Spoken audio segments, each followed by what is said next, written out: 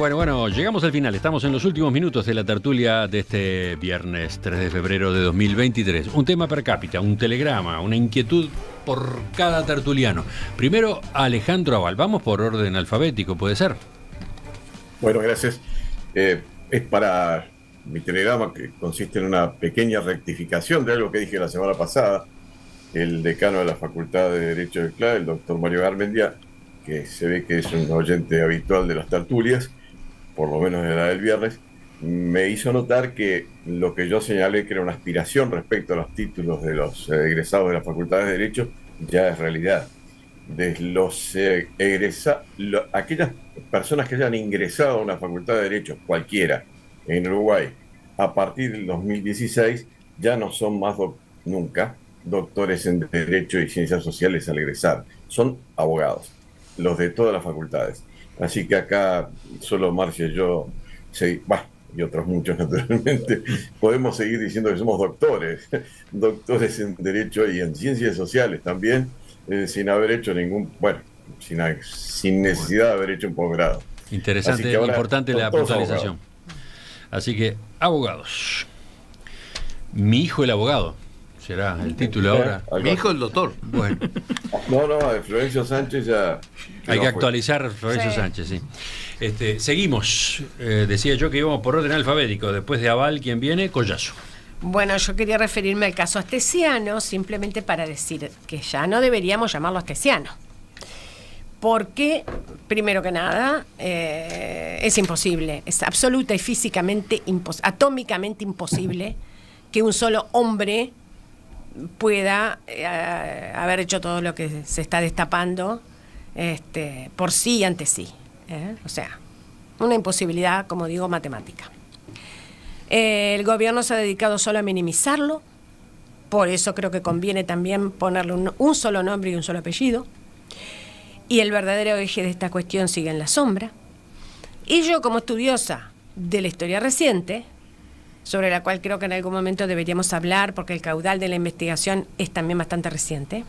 Yo digo que lo último que se ha sabido, el seguimiento Abdala, recuerda a los periodos más oscuros del espionaje instalado en el Uruguay de los años 60, cuyo eje principal declarado, ¿eh? porque está en los informes, era el combate contra el Partido Comunista en primer lugar y en segundo lugar contra el movimiento sindical. Por lo tanto, por el bien del país y en atención a las lecciones que nos brinda la historia, es hora de cambiar la óptica y el discurso, poner un freno absoluto e iniciar una verdadera investigación. Otro tema.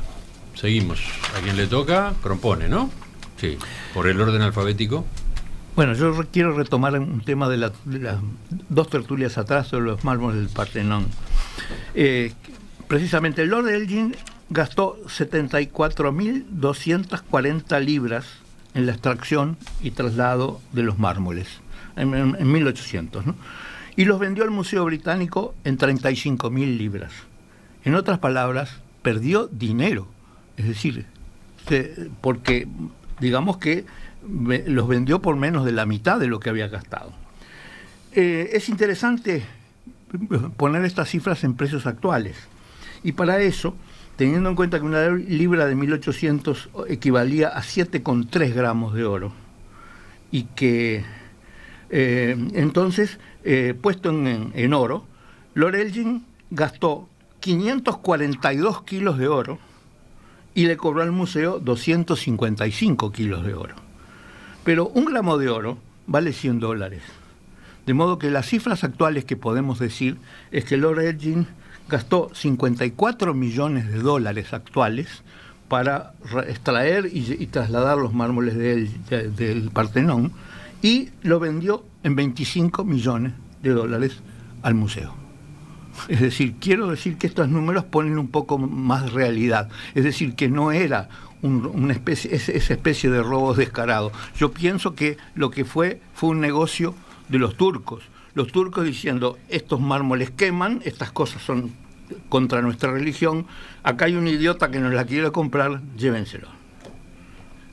Pero y le cobraron al idiota una fortuna.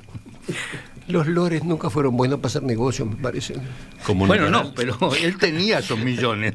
Como notarán los oyentes, Sí, las tertulias no terminan, o mejor dicho, las discusiones en las tertulias no terminan, eh, ni que hablar que los propios oyentes eh, las escuchan, las debaten después, pero los tertulianos hacen sus propios procesos posteriores. Aquí tenemos a Juan sacando estas otras conclusiones.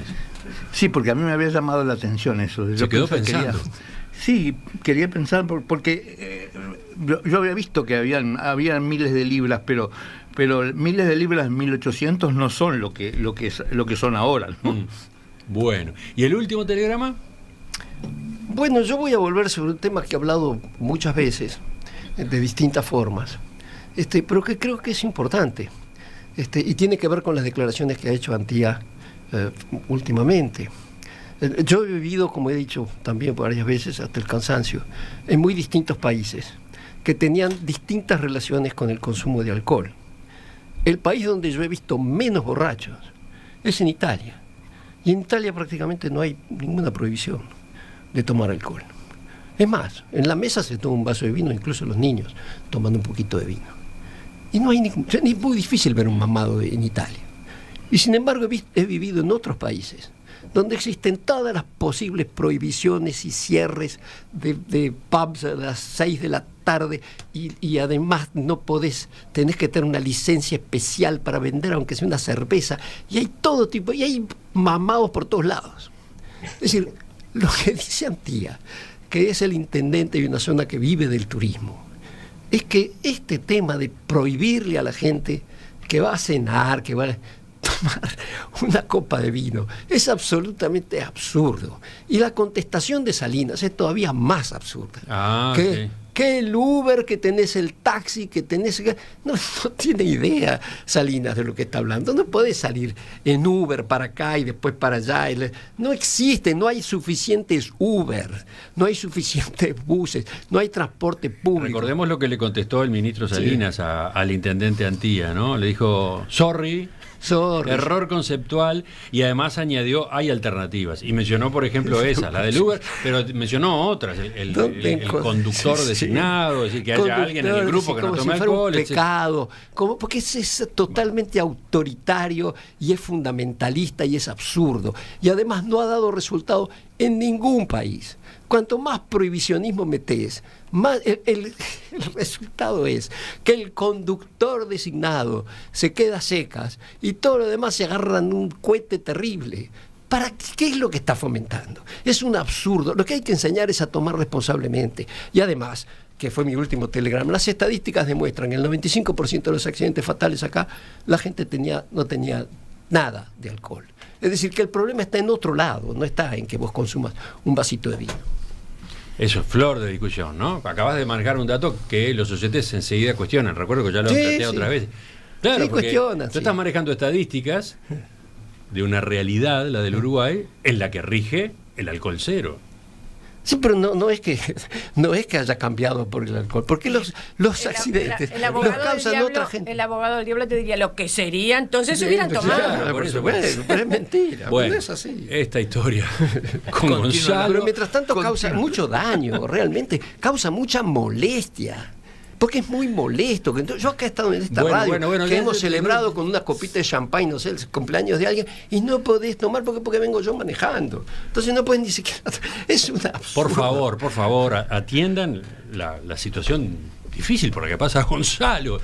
No, pero es que no, porque autoridades- parece como que yo fuera un borracho perdido. No, yo no me emborracho No, pero nunca. estás, estás un poco insistente con esto. ¿Cuántas veces lo has Pero porque ya? creo que hace daño. Y creo que en el Uruguay se está tomando más a medida que ponen estas prohibiciones. Yo veo que los jóvenes y todo se toman más de lo que tomaban en mi época, mucho más.